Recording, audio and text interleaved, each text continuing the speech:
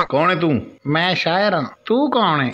ਮੈਂ ਡਾਕੂ ਹਾਂ ਮੈਂ ਤੈਨੂੰ ਤਾਂ ਮੰਨਣਾ ਜੇ ਤੂੰ ਮੇਰੀ ਸ਼ਾਇਰੀ ਨੂੰ ਆਪਣੇ ਡਾਕੂ ਪੁਣੇ 'ਚ ਫਿੱਟ ਕਰ कोशिश ਕਰਦੇ ਹਾਂ अर्ज किया है तकदीर में जो है वो मिलेगा कोई भी अपनी जगह से नहीं हिलेगा अपने कुछ ख्वाब मेरी आंखों से निकाल दो जो कुछ भी है इस बैग में डाल दो बहुत कोशिश करता हूँ तेरी यादों को भुलाने की खबरदार अगर किसी ने जरा सी भी होशियारी की पुलिस को बुलाने की दिल का आंगन तेरे बिन वीरान पड़ा है जल्दी से माल मेरे हवाले करो मेरा दोस्त बाहर परेशान खड़ा है Hello.